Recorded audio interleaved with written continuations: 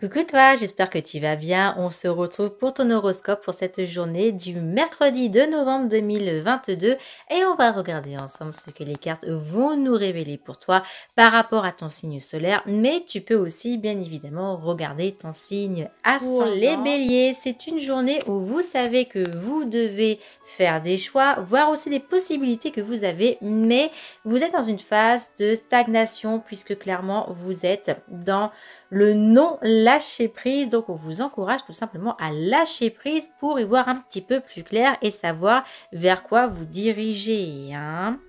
Les taureaux, quant à vous, eh bien, on se libère d'une oppression par rapport à des personnes de votre famille ou des personnes que vous connaissez depuis pas mal de temps, surtout si elles insinuaient un petit peu que vous étiez la cause de leur mal-être. Là, clairement, vous commencez un petit peu à vous détacher de tout ceci, hein, puisque clairement, c'est des accusations qui pourraient être aussi non fondées. Hein. Les Gémeaux, chers amis Gémeaux, on est dans une énergie de libération, de nettoyage sur soi, même si, eh bien, on est dans l'attente de certains événements. On ne sait pas trop non plus où est-ce qu'on en est. Eh bien, on vous encourage tout simplement à réharmoniser votre énergie, à réharmoniser un petit peu tous vos chakras et tout simplement aussi d'être patient ou patiente et juste de continuer ce petit nettoyage. Les réponses viendront tout simplement en temps et heure. Hein. Et on finit avec les cancers pour cette toute première partie. Amis cancer, il y a des possibilités que vous ayez des doutes et des confusions par rapport à une personne du passé qui pourrait être un ou une ex ou bien tout simplement une personne qui vous a été chère. Hein. Donc cette personne-ci, elle vous apporte ses doutes et on vous encourage tout simplement par rapport à cela à vous ancrer, à lâcher prise. Hein. Il va y avoir aussi des petits moments de flashback, on va dire, de votre passé et on vous encourage tout simplement à refaire des choses, à revoir vos rêves d'enfant pour un peu plus encore vous ancrer et peut-être bah, justement grâce à cela, vous allez aussi avoir un éclaircissement par rapport à cette personne du passé qui finalement vous a peut-être apporté aussi quelque chose et il va y avoir un travail sur vous qui va se faire, hein, clairement.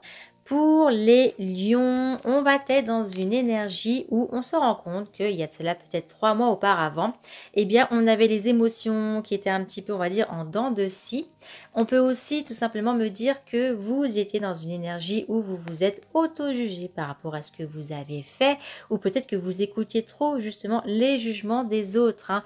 Là, clairement, c'est une journée où on apaise les émotions, où aussi on se rend compte qu'il faut tout simplement s'ancrer et vivre son instant présent et en retirant un petit peu bah, justement tous ces jugements. Vous voyez, là, on s'ancre et c'est très positif puisqu'on apaise un petit peu tout cela. Hein pour les vierges.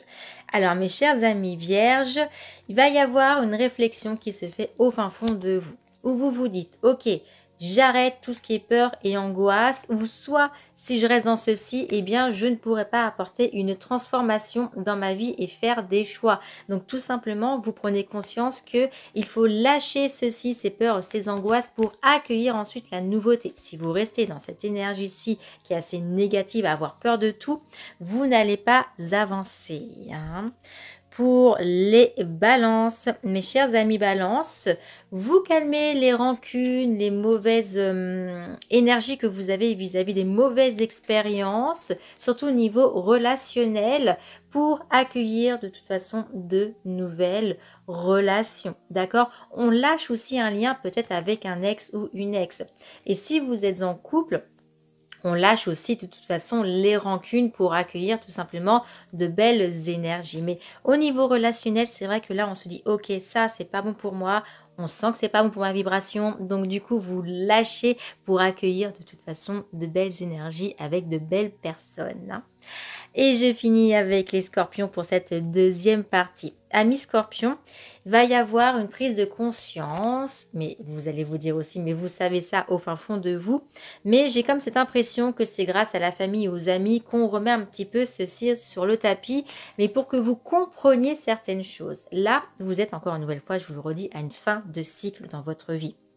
Il se peut que vous vous êtes peut-être aussi menti euh, par rapport à pas mal de choses, par rapport à ce que vous pouviez faire ou autre. Et eh bien ces personnes autour de vous vont tout simplement vous faire prendre conscience de ceci. Vous allez accepter la vérité et mieux avancer. Alors pour les Sagittaires, il y a des possibilités que vous ayez une petite sensation de regret, de tristesse, puisque vous avez envie de couper certains liens au niveau euh, familial ou peut-être par rapport à des personnes qui sont un petit peu oppressantes, qui pourraient vous empêcher en fait tout simplement d'avancer dans vos projets. Hein. Mais ceci est bien évidemment positif, puisque le but étant tout simplement de couper certains liens pour mieux avancer. Hein.